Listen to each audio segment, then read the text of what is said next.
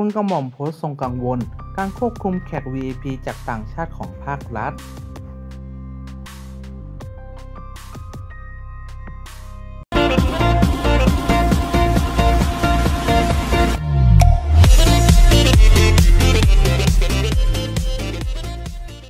พราะเมื่อวันที่ 14 กรกฎาคมที่ผ่านมา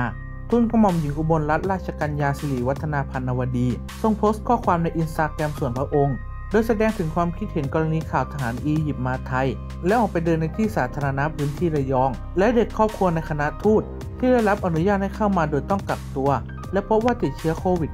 -19 ทุนกระหม่อมหญิงอุบลรัตน์ทรงระบุว่า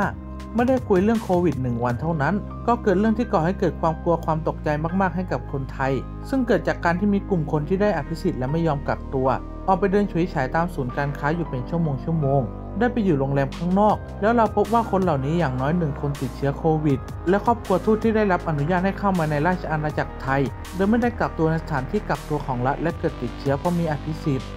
คนแรกเป็นทหารอียิปต์มาลงอู่ตะเภาแล้วไปพักที่โรงแรมแห่งหนึ่งที่ระยอง ไม่ใช่สเตทควอลิทีนและไปเดินที่ศูนย์การค้า ก่อนหน้านั้นก็ไปกับจีนจากไทยในวันเดียว ไม่น่าเชื่อว่าจะหละหลวมให้ทำได้ แต่กลับมาโรงแรมก็แจ้งให้เจ้าหน้าที่มาตรวจโควิดอยู่แล้ว 1 วัน แล้วกลับไปที่อียิปต์ไปเลย วันรุ่งขึ้นก็ทราบผลเมื่อพวกเขากลับไปแล้วก็รู้ว่าทหารคนหนึ่งอายุ 43 ปีติดโควิด คนไทยทราบข่าวก็ตกใจกลัวกันหมด น่ากลัวมากที่มีความหละหลวมเช่นนี้ทั้งที่ทางสบค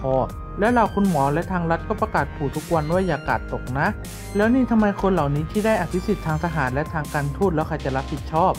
พวกเราคนไทยก็ทำดีแล้ว เราจึงตกใจกลัวไปหมด แต่ไม่อยากให้เราตระหนกและพานิกเกินไป เพราะโชคดีว่าเรารู้เร็ว และน่าจะใช้วิธีทางระบาดวิทยาสืบหาคนที่สัมผัสหรืออยู่ในสถานที่เหล่านี้ต่อไป